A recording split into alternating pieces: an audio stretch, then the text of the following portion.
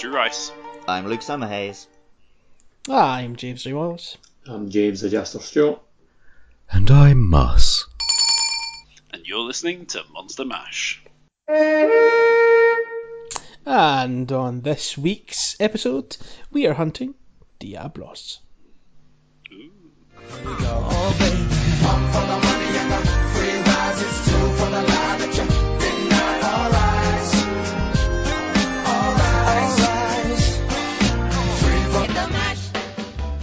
the Monster Mash. The Monster Mash. It was a graveyard smash. They smash. played the mash. It caught on in a flash. They played the mash. They played the.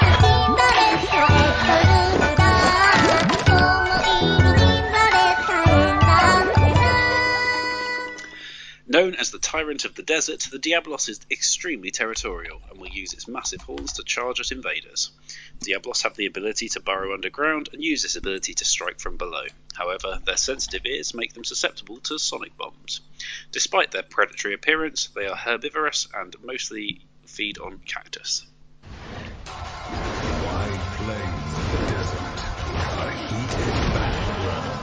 Suddenly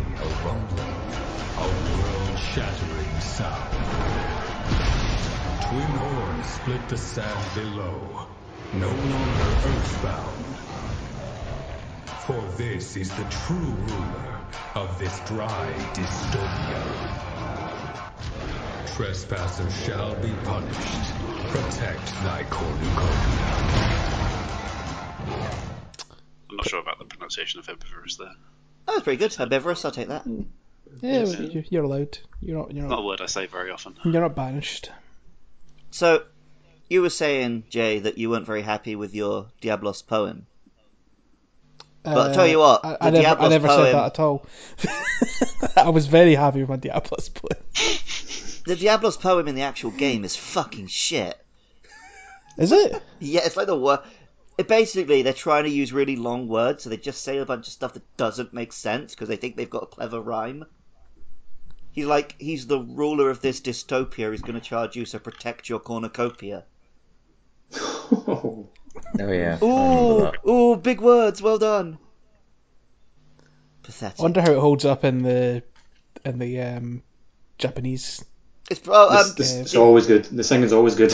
Don't know if like Yeah, the Japanese translate it word for word though, like because obviously you get subtitles for it. very different because Japan doesn't really care about rhyming in like poems and songs and stuff. Rebels. So there's probably just they just use sentences that make sense because they don't have to bother doing that. Mhm. And um, in the Japanese one, the guy who's singing is also playing the shamisen that you can hear. Yeah. Is it like Why do they care um, about rhyming? I really want to understand that. I feel like I'm missing an important piece of lore here. It's, it's just it's just historically never been a thing. So most of their songs and poems don't rhyme. The Bad. Japanese kind of ecology videos? Uh, what's the name of that kind of style of theatre? They do it in. There's an Ace Attorney case which like revolves around it. Yeah, yeah, What's the name yeah, of um, it? You know what I'm on about? Yeah, I, it's not the same thing as that because that's more of like Rakuto. Racket, Rakuto, Rakuto, Uh, Rakugo. Rakugo. There we go. Yeah, yeah, yeah. Um, is that the same? I no. No, Rakugo's uh, like a comedy thing, whereas this is more like Oh, a, okay. something they would do at like a temple. And there's nothing funny about Diablos.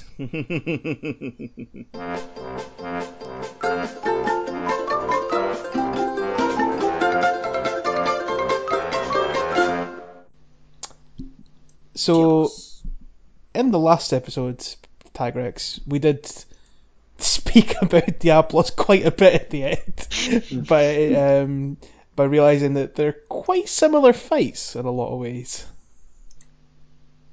Both Yeah. Charlie boys. Well, just they're big physical monsters whose main thing is they come at you. I do think the um, I, I, I describe Tigrex's charge attack being a bit bull-like. Um, that's obviously, I think, even more apparent with Diabolos's charge. Um, you know, the two horns on its head, the fact that it kind of almost ruts, like kind of and gets ready to charge up at you. Um, very bull-like in that regard. Um, there is very much a matador aspect to the battle with Diablos, which is even more present in this fight compared to the Tigrex fight. Yep. And Diablos, um, see, Tigrex hits hard, but also you can hit him pretty hard. Whereas Diablos is also quite tanky. So in I can remember in a few different games, he's been quite a challenging fight for me. I think if you don't play Hammer or like Hunting Horn or something like that, I think yes, Diablos is pretty tricky. But if you have like an impact weapon, like like like the before mentioned pair, I do hmm. think Diablos isn't that tough in the grand scheme of things. Like I had a lot of fun fighting Diablos with Hammer Hmm. in uh, in World. Um, just something really really satisfying about you know breaking off the horns and getting multiple stuns on it in a, in a hunt as well. Um, Yeah, I definitely think the horns is a big thing, right? Like that, they are some of the most satisfying horns you can break. I Well, think they're he's so good. He's good to use like counter weapons on as well, though. I think like you're not wrong about like the impact weapons there, Jay. But like I always usually kind of tend to focus on Like- weapons that I've got counters, like because obviously he's just charging at you all the time. The same with Tigrex. Like Well, like- counter weapon, like a yeah, lance I mean, or I, I, like I guess like longsword or something in the eyes, and that would be like really good because you get a lot This of opportunities. what to you're saying makes test your counters. makes a lot of sense because in Double Cross, which was the first game where we, me and Jay fought Diablos, I was using the hammer, and I don't think I had too much trouble with Diablos. And then in Rise, I'm using the charge blade, so I can just use that wirebug counter. And again, I haven't had too much trouble with him. But my first time through Monster Hunter World, when I was playing Longsword, and I didn't really know how to do the fancy counters, um, he was absolutely wrecking my shit. I remember spending like an entire night, and I only had like five days to play the game, just trying to beat that Diablos key quest that you have to do. Because yeah, just- I mean, partly that's because I was rushing and didn't have good armor, Mhm. but also that is just. I- I You feel definitely like can. You can be a. It can be a tough that. fight. You definitely a wall for some people. Like I found, I definitely Um, see a lot of people that started with World like Diablos was like a a wall for them. So that's gonna. I think where it comes in the game, yeah, it definitely is is a big wall for a lot of players. I do remember that might have been one of the first hunts. Like we, we had a triple cart on when we were playing through World, um, just because compared to the other monsters you fought up to that point in World, um, the the, the, out, the damage output that Diablos can can give is is, is crazy. It's Yeah, such I, a strong I think monster. it goes back to, to what Luke was saying as well. Though, like he was obviously rushing through it. I mean, even not necessarily rushing through it, you, you don't need to armor up as heavily before Diablos, whereas Diablos does just hit so hard. It's, Yeah. it's a huge leap in damage taken. Diablos is basically the final boss of low rank in World because it's Rathalos and Diablos, and then after that it's just um, Zorah Magdaros, which isn't really a tough fight. It's just a spectacle fight. Mhm. So I yeah, sure it was a it's a memorable hunt for a lot of people who played that game. I think. And my friend Rob think- is currently playing through World, and we've been hopping on and helping him. And Diablos was the first quest that we ended up failing. I think that's probably intentional as well because Diablos is such a key focal point of the Wildspire Wastes because you, you you know there's a strong chance you'll you'll run into it early before you're meant to by fighting like Barroth up and, and like knocking it into the quicksand or what have you and then oops here comes Diablos. Um and like that's a I would I think we spoke about that in a previous episode that's a real big trailer moment for the game is seeing that Diablos erupt from the sands like that. So you know, the, I think they clearly positioned Diablos to be that gatekeeper to, to high rank, like you were saying, Luke. Oh, um, Whereas, that sorry, the- that main campaign campaign of World is so brilliantly paced, and because you bump into Rathalos and Diablos a lot in those two maps, but you don't actually have to fight them until that big final, like, um, climactic battle where where it's Rathalos and Diablos, and they've had so much opportunity to build up presence up to that point, and they both just come across really well in that game. Um, yeah, totally agree with that. And whereas I don't think, I don't think he's got this. Uh, Diablos has got the same impact in Rise comparatively. Um, but that's you know by design, you know, compared to doesn't have that. It's not that same level of build up like you were saying that it did World. Yeah, and a big a big thing in World was the interaction between different monsters and the hmm environmental traps and all of that stuff. And Diablos used all of that so well. Whereas Mhm. both of those things have been toned down a lot in Rise, Mhm. um, which admittedly makes it mostly a better f- game to play. but it does mean that yeah, he doesn't get to have just like it feels like the whole Wildspire Waste, apart from the swamp bit, is just Diablos' playground. Yeah, And, like, which he's fits got- into the apex predator sort of Yep, uh, motif they were going for, right? You're always falling down and you're into his lair, or you're getting chased by him and he's Mm. smashing things up. Mhm.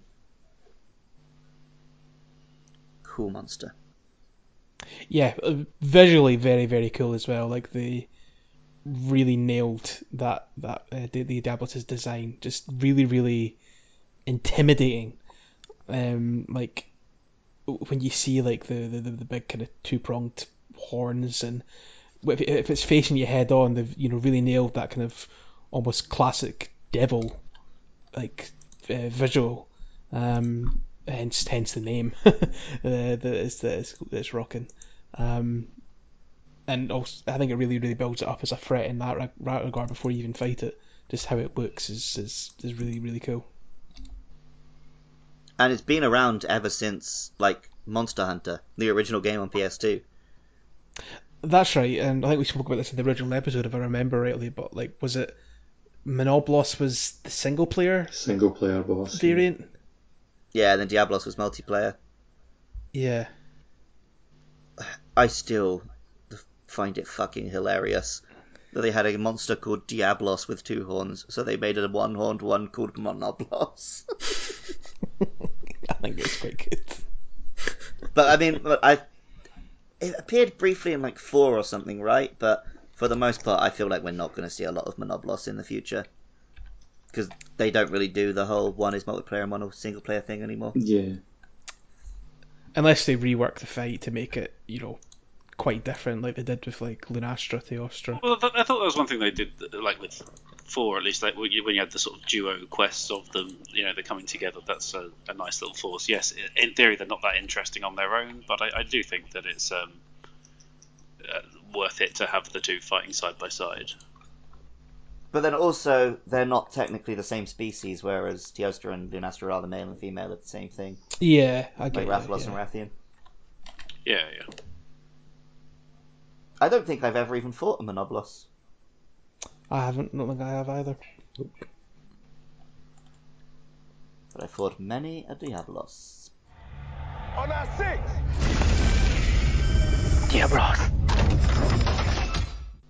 Do you know who else has fought a Diablos? Milla Jovovich. Yeah. I was just thinking that when we were talking about Raf, uh, Rathalos and Diablos being positioned as these kind of ever-present threats in world, and uh, who were the ever-present threats They're in the movie, uh, yeah. the movie. Diablos actually gets a pretty good showing in the movie because um, it's the first monster they encounter when they get transported to the New World or whatever. And it just wrecks most of the soldiers. um, and then, like, the whole first act of the film, well, the first two acts basically, is the Diablos is in the sand and being very territorial.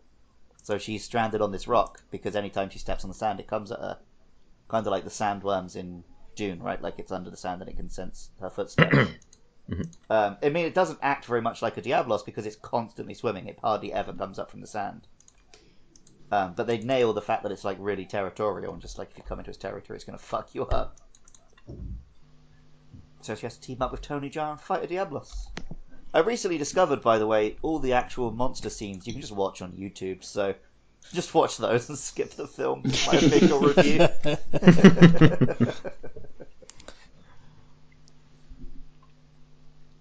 but it's a very unique design, so I think it probably makes a pretty good impact in a movie, especially when most monster movies these days do not have very interesting monsters. Uh, one of the things we talk about a lot with Rise specifically is that you're so much more mobile now, and that that makes the game a lot easier to some extent. And uh, I think for me, the the moves that always get me with a Diablos is I always found a way to get caught out by his charge at some point. Um, so it does make that a little bit easier, but I don't at the same time think that it really makes the fight that much easier. There's a same saying that they have um, in uh, American sports a lot, which is uh, game speed, which is like where a player might have been injured or something and they're a little bit out of form and uh, they're still getting their head up to the speed of all the other players, like in terms of the reactions and stuff. And I feel like Diablos is that is that monster. Like obviously we mentioned the uh, the skill check in in World because of the the damage, and he does hit like an absolute tank. and um, but I think he's a good check on getting you up to the speed that you'll need to actually deal with some of the uh, some of the stuff that comes after Diablos Well, yeah, uh, as well. the yeah. best way to fight Diablos has always been to mostly keep your distance. Then when he charges at you, like get a few hits in and then get out of the way again. And obviously in Rise, if you get good at using the bugs, you can do that really well. But I always underestimate how far away he can still fucking get me. Mhm. So I always pull out, feel like I'm safe, and then suddenly he's like right on top of me again. Um, so like yeah, he does make a good. Yeah, sure, the wire bug does make you mobile, but it doesn't make you invincible. And Mm. Diablos did a pretty decent Yeah, job. that's of how I reminding call me of out that when we were doing the, the Apex like hunt. Apex Diablos, like he just has that speedy charge that he does. That's what caught, caught me out and made me faint. Yeah, I always like the uh, bugs, I was like like doing bullshit, I was the away from it.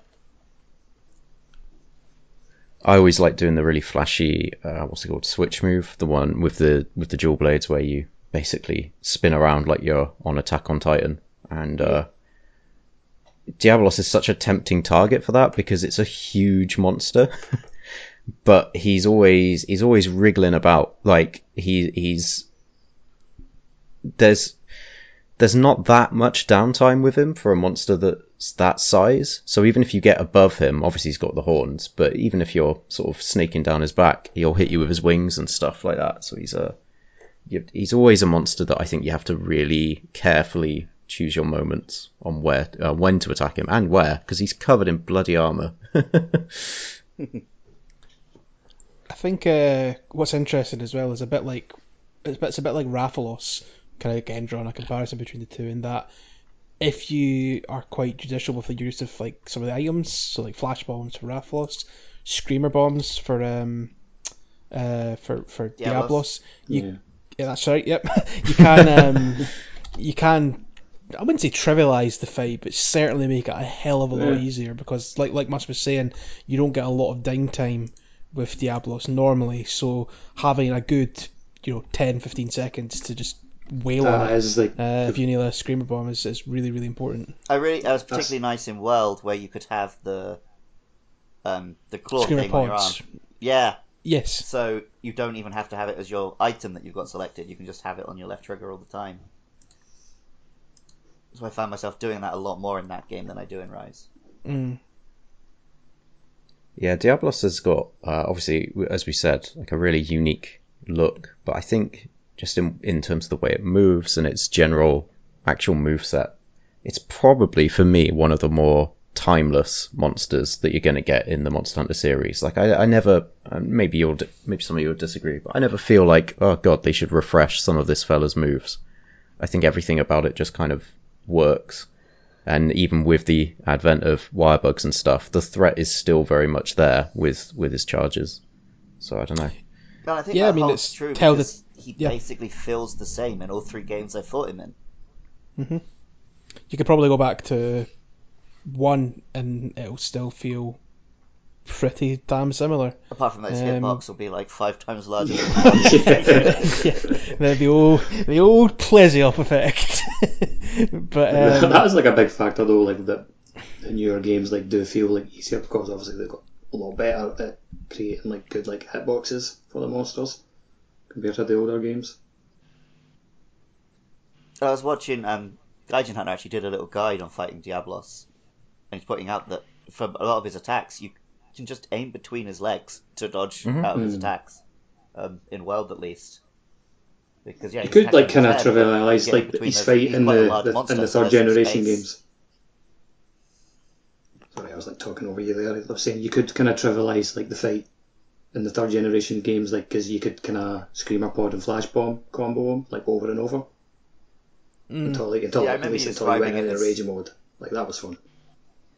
Like I get why they changed it, but like that was fun to do. Like just the timing of getting your screamer pod off, and then as soon as he gets stuck from, you get your hits in, he comes out of the ground, and then you throw the flash bomb. Like it was, it was good to kind of good timing that you needed to do it. But it did make it way too easy. Yeah, I um in World, I lived between his legs. That's where I lived. That's like I was always heading uh, right underneath Diablos, and then I had the uh, the longsword as well. So you've got that kind of overhead chop, Yeah, um, which I would use to kind of tickle him. I wasn't. I was. It would always be a long fight, but it was a safe, safe way of dealing with it. But uh, I tell you, I tell you one thing that's always that's very satisfying is possibly not that I have any knowledge of this, but possibly even more satisfying the deeper into the series you get with Diablos is those uh, is those sweet carves you can get on and those cuts on like the tail and stuff. It's a very satisfying cut when you do because it's so it's such an armored uh, monster and it's such a threatening monster that I think when you do get that tail cut, it's a good it's a good feeling. You feel It's cool, well cool animation. His tail Like- is like a big axe, right? It's such a weapon. Yeah. So it feels like you make a big difference to his ability to fight you when you cut his tail off. And same with the horns. You smash both his horns, his charge is a lot less damaging. So it does feel like you're actually. But your the breaks are not just aesthetic. You're actually breaking his ability to hit you. Yeah, his, his tail's uh, an interesting one, isn't it, from a design standpoint? Because like it is literally like a big axe, but it's also got that kind of thickness of what you'd see on uh, what like an ankylosaurus, like that Yeah. big meaty bulge at the back of their tail. So it's like you get the sense that if most designers had came up with a monster that's got an axe on its as its tail, it wouldn't look it wouldn't look realistic at all. But in in the Diablos one, it's just so it seems so natural to me that he'd have an axey tail that I don't even think of it as being, you know, like a medieval weapon inspired design. Good job, good job, Monster Hunter boys. Good job.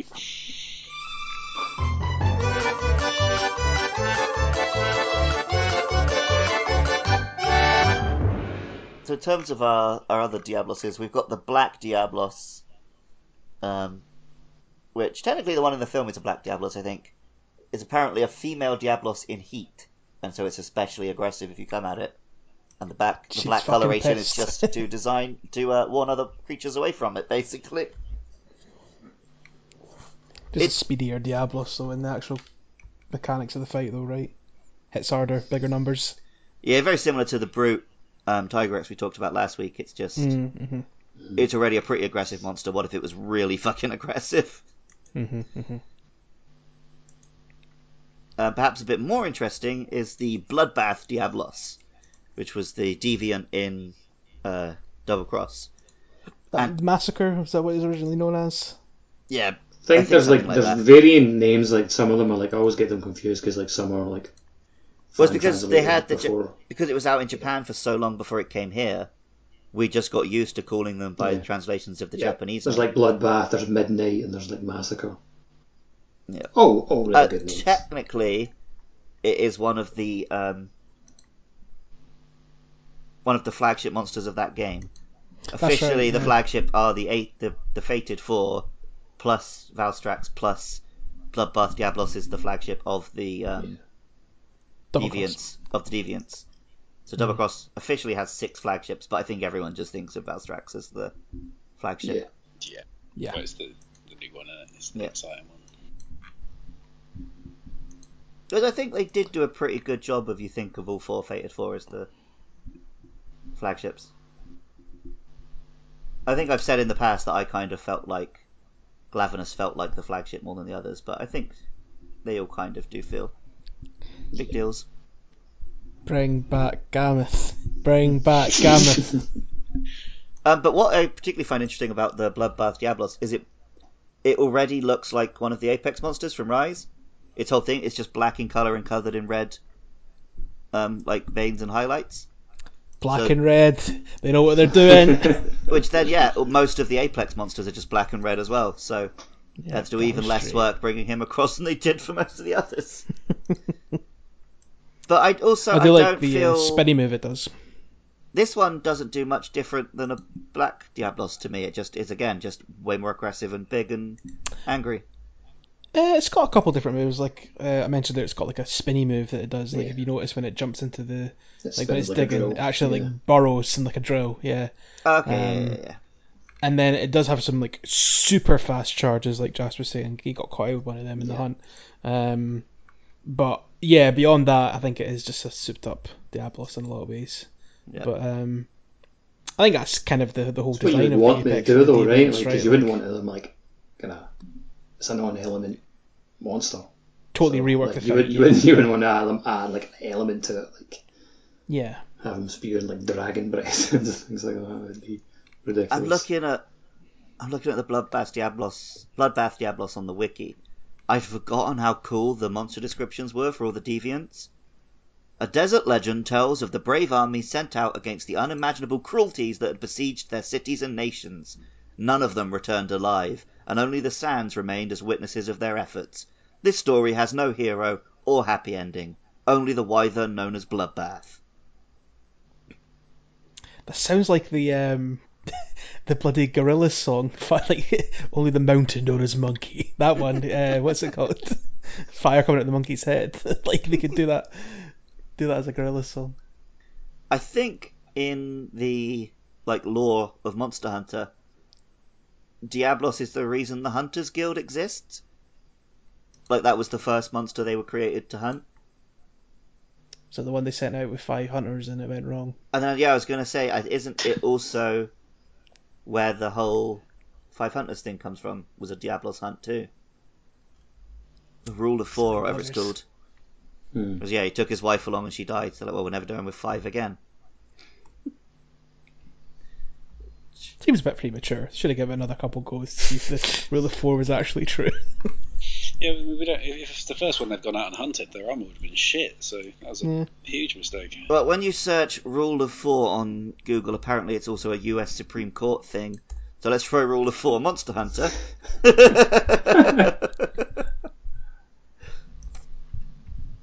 oh no, it's Lao Shan Lung. Oh, that makes So more sense. Diablos is where the Hunters Guild comes from, but the Rule of Four comes from Lao Shan Lung, where they went with five of them and one of them died. To be honest, they're just fucking noobs, because who dies against a Lao Shan Lung? I can understand it from Didn't Diablos. engage, didn't engage with a cannon meta, uh, did they? No. Probably didn't have any cannons back then. Yeah, probably did a little cannon train thing. I know.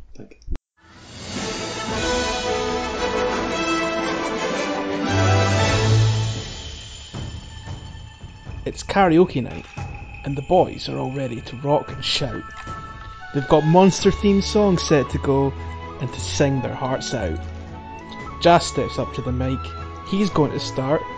He sings, Ooh, Nargacuga, like that song from Heart.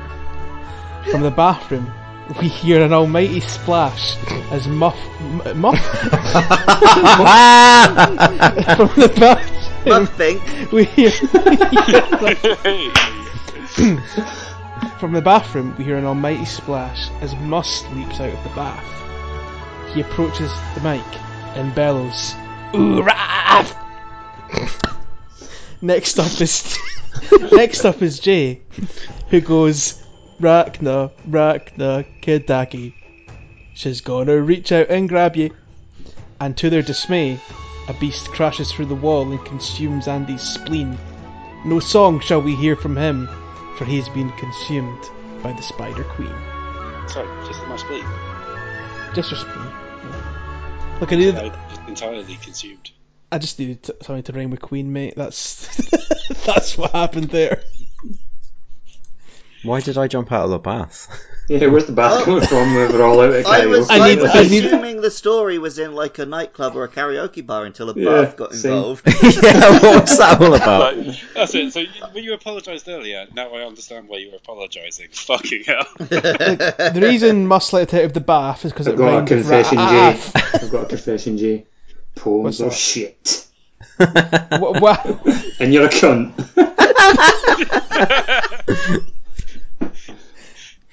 Well, where can we be found? We're on Twitter at Monster Mash Pod. We're also on Facebook, YouTube, Apple Podcasts. Just go search for Monster Mash Podcast. And you'll probably find us. And if you want to throw some dollars our way to help keep it online, uh, you can go to patreon.com slash podcastio, podcastius.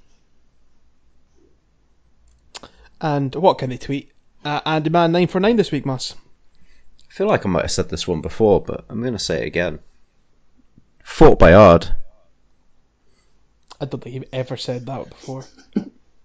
It, it does ring a bell, but uh, yeah, I'm not sure the specifics. I might Did not you have get any- specifically got in shout out during that part of the podcast. It might have just happened, you know, as as a as sort of a tick during the Common touch point podcast. For you. Fort Did you not get any Fort Boyard themed tweets before, Andy? Uh, no, I did not. Well, Well, now's your chance, Come listeners, on. to right that wrong. Yeah, send him a send him a riddle, Tree, tree definitely. like the but yeah. like the wizard in the tower. Thinking Hmm. of Fort Boyard, when you were living in um, America, Muss, did you eat any Chef Boyardee?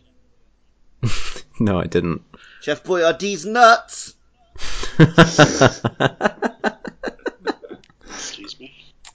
React the way you would want him to react, and you fucking still said it. yeah. I, I love I love the memes where it's like, I can't believe Steve Jobs died of ligma, and it's like, who's Steve Jobs? Lick my nutsack. I basically just got to live one of those, so I'm very happy. yeah. You gonna go eat some chicken, Andy? Yep. Chicken out these nuts! Excellent. Brilliant. Goodbye. Say goodbye. yeah. Yep, on that note, See catch you next time. Cheerio. Catch these nuts.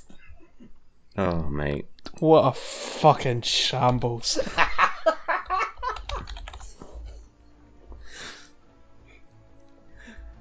sorry, I'll I'll never bring up Fort Boyard again.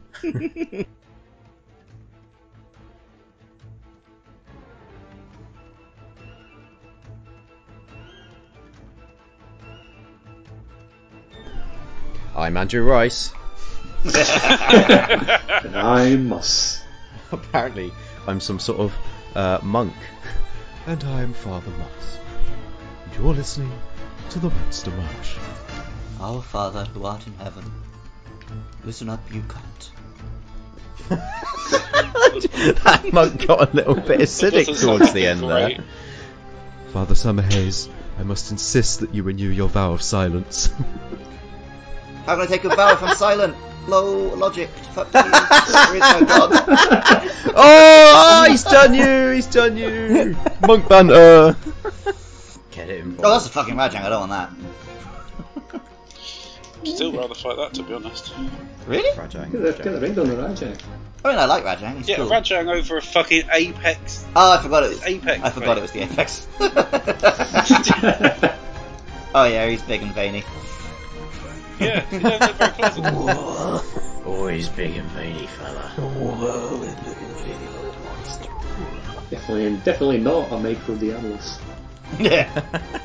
This is a bit cramped in here. Yeah. Anjanath, you are not gonna have a good time in this fight, buddy. That was a lot of monster. Back down. That's a lot of monster in a small hole.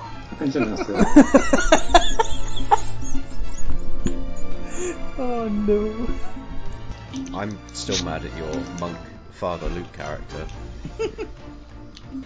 But we've got monk beef.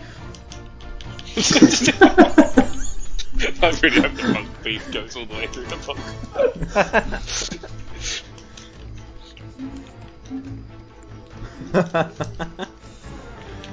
What relation does monk beef have to uh, Sunday beef? Well, Sunday beef is the day that we ref- we put our monk beef on hold for the Sabbath. but then we've got a whole separate Sunday beef. So Was it Sunday beef or was it Monday beef? It's Sunday beef. what- It was? Sunday beef, I think, Sunday yeah. beef? Yeah. and also I think it's just like a bog standard fucking beef bowl place as well. What is a beef bowl? Rice with some beef beef on it? top. John Burry. Don't get me wrong, I've visited plenty of places in Yakuza, so I know what it's all about. I'm a well-travelled man. There probably are big aspects of Japanese culture that Andy knows better than me because of the amount of Yakuza he's played. I've been to Kamurocho at least eight times. Dear father, I'd like to confess. Father Muss Oh cunt. shit, do these guys have a turf war? That'd be cool. what, what sort of confessions?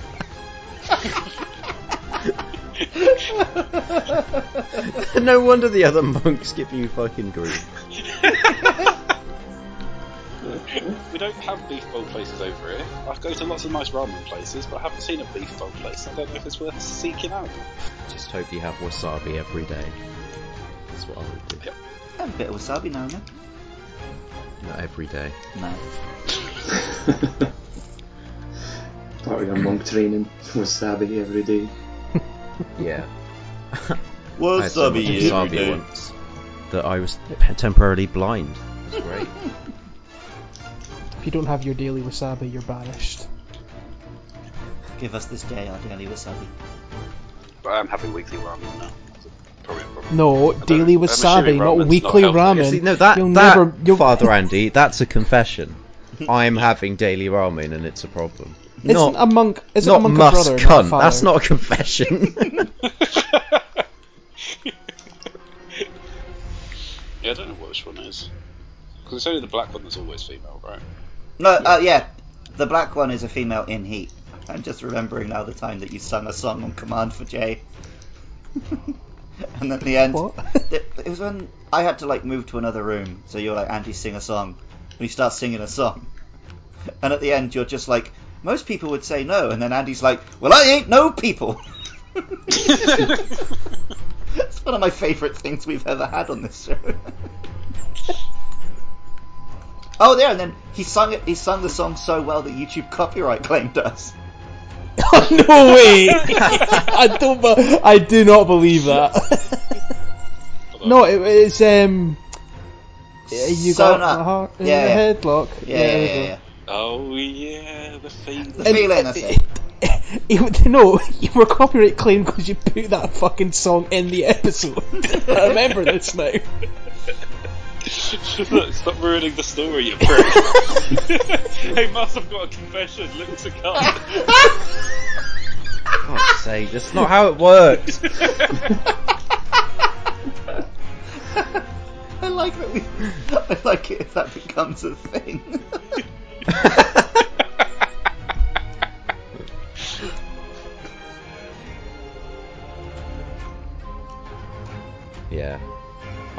I muff pink, mu- muff pink, monk beef with uh, Father Christopher. Muff Pink.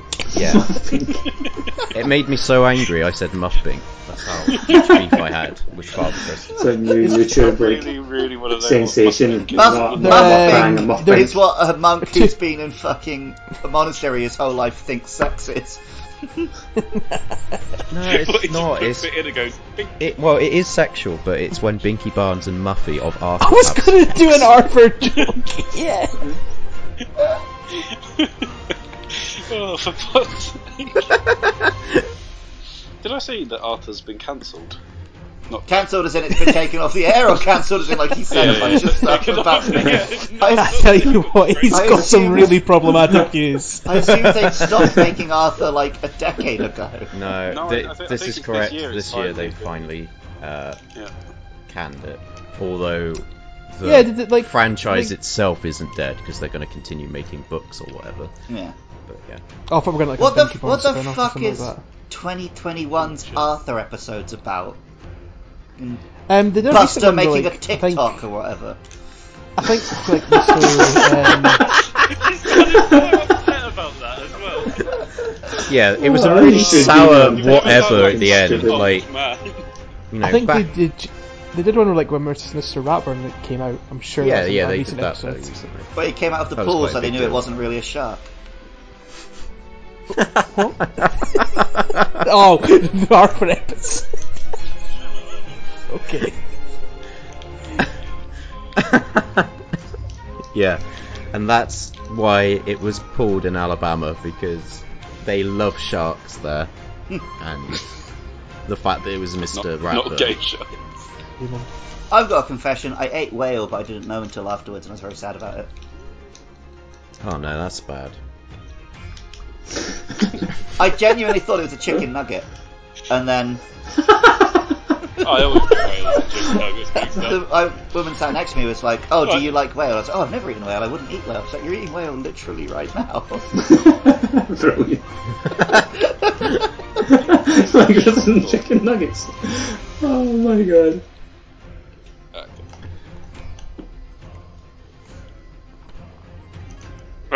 Right, that wasn't actually too bad in the end. it didn't feel that different to a normal Diablos, to be honest. No, it hit a bit harder, but yeah, no, that was that was quite pleasant. About